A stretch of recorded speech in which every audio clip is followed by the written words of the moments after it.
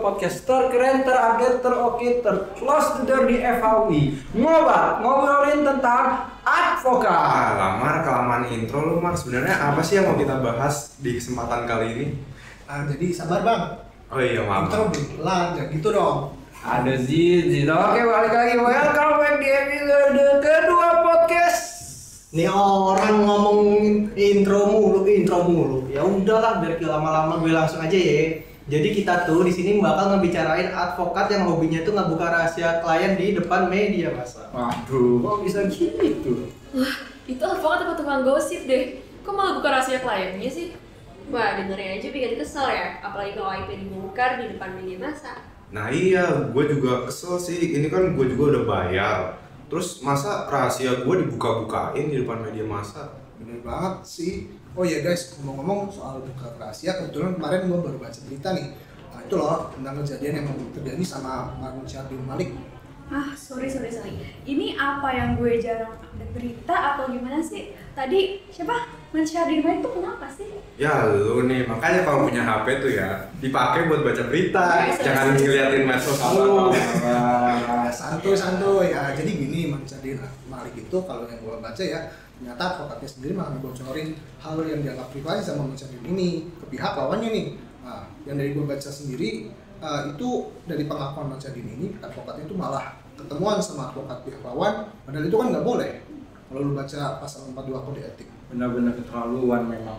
Heran deh gue, kok bisa gitu sih? Kalau gue jadi kliennya nih ya, gue pasti kesel dan bakal gue tuntut itu advokat Karena udah nyebarin rahasia gue di depan media massa Hmm, daripada kita cuma ngegosip sama ngegrundel kayak gini, mending kita coba carilah obatnya buat menyelesaikan persoalan ini.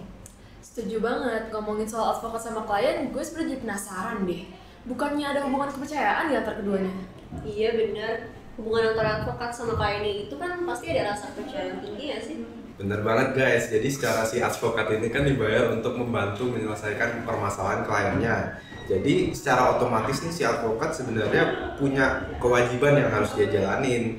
Nah sebenarnya selain itu juga antara advokat sama si kliennya ini harus saling terbuka. Jadinya advokat ini dapat apa membantu menyelesaikan kliennya permasalahan kliennya ini dengan mudah gitu. Setuju gue sama lu Zid.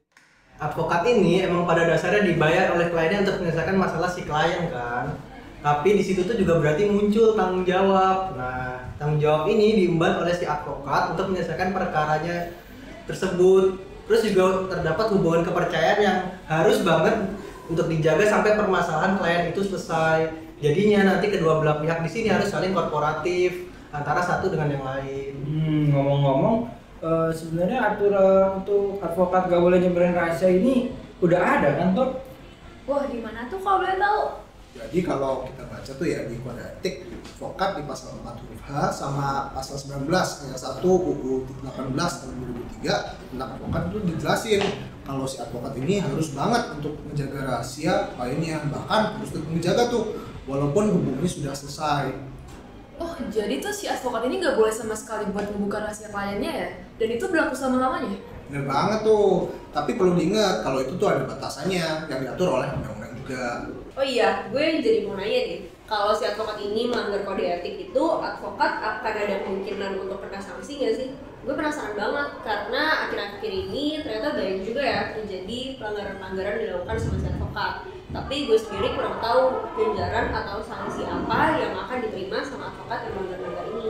Oke, jadi di sini gue jelasin ya, kalau advokat-advokat ini yang melanggar, itu bakal ada sanksinya, itu kita bisa lihat sendiri di kode etik. Nah, sanksi-sanksinya ini tentunya ada tingkatan-tingkatannya tuh. Gimana tuh tingkatannya? Bisa jelasin nggak sih, Rin? Gue masih kurang paham nih.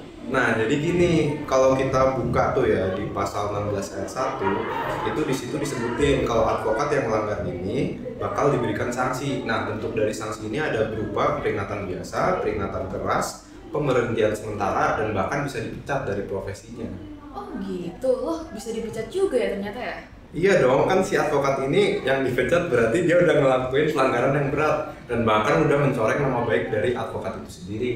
Oke, terus bisa nggak advokat ini di penjara? Karena tadi yang lo bilang advokat ini mereka jadinya ngejelekin kan? Hmm, bisa bisa kalau eh, dicoba-coba tuh baca di Undang-Undang Nomor 18 Tahun 2003 itu bisa dilihat di pasal 26 sanksi yang dilaksanakan oleh Dewan Kehormatan tidaklah menghilangkan tanggung jawab pidana apabila pelanggaran terhadap kode etik advokat itu mengandung unsur pidana. Nah, terus kalau kalian lihat di pasal 322 ayat 1 KUHP, di sana diatur nih siapa yang membuka rahasia yang wajib disimpannya karena jabatan atau pencariannya baik yang sekarang maupun yang dahulu diancam dengan pidana penjara paling lama 9 bulan atau denda paling banyak 600 rupiah. Nah, karena sesuai dengan kode etik advokat tadi menjaga rahasia klien itu sebuah kewajiban. Maka yang membongkar rahasia klien tersebut pasti bisa dipidana. Walah, ternyata advokat yang melanggar untuk membuka rahasia klien itu bisa dipenjara juga ya berarti ya. Sepadan banget sih sama apa yang mereka lakuin ke kliennya. Oke guys, kayaknya kita udah kelamaan nih, jadi lapar. Eh, gimana kalau kita sudahi dulu ngobrol tentang advokat kali ini? Aduh, sabar dulu dong. Makan aja nih yang lo pikirin. Coba lo simpulin dulu apa nih perbincangan kita hari ini. Ya, maaf, maaf. Jadi yang seperti udah kita bahas sebelumnya, kalau jadi advokat itu harus selalu menjaga hubungan baik dengan kliennya. Tentu advokat ini juga harus tetap mematuhi aturan yang ada dalam kode etik advokat dan juga undang-undang advokat. Jangan karena nggak suka sama kliennya terus jadi bertindak seenak-enaknya aja ngebuka rahasia klien di media massa karena setiap perbuatan pasti diikuti dengan pertanggungjawaban di akhirnya. Nah benar, apalagi informasi rahasia klien itu bisa jadi sangat krusial, baik itu untuk suatu perkara tertentu maupun pada umumnya. Bayangin kalau misalkan pihak menggugat uh, kita atau kita gugat tahu tentang rahasia klien kita yang sangat krusial. Bisa-bisa mereka menggunakan informasi itu untuk melakukan cara-cara kotor untuk menyelesaikan perkara itu. Wah benar banget tuh. Selain itu bisa juga rahasia klien yang kita terima atau dapatkan ada aib dari kliennya. Bisa bahaya, bisa-bisa kita dituntut sama klien kita sendiri. Oke guys, thank you banget udah dengerin perbincangan podcast kita sampai detik ini. Semoga apa yang jadi pembicaraan kali ini dapat membuka dan menambah wawasan bagi para penonton, terkhususnya orang-orang yang kepo banget nih Kalau gitu kayaknya kita udahan dulu nggak sih?